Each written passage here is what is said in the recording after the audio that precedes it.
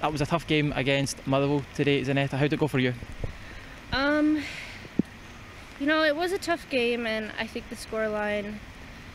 I think the team in general wanted the scoreline to probably be a bit more, um, just to.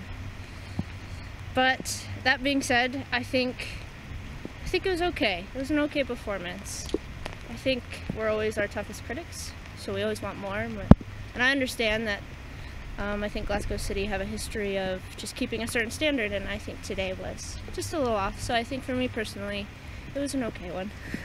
Was it important to keep the winning start to the season going? Um, yes, of course. At the end of the day, it's three points, and that's exactly what we need um, in order to keep our momentum going. So yeah. Next weekend, then a big game against Hibernian. Uh, what are your thoughts on that? Um, well, I haven't personally played against them, but I've heard that they're another tough oppo- opponent. So I'm looking forward to it. Excited. I'm also excited for a full week of preparation for a team. So hopefully, this next game we can turn up and produce a bit more than we did today.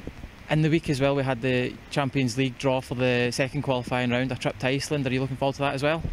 I'm yes, I'm very looking forward to any game that's coming up. um, but yes, Iceland, Valur should be a tough opponent again.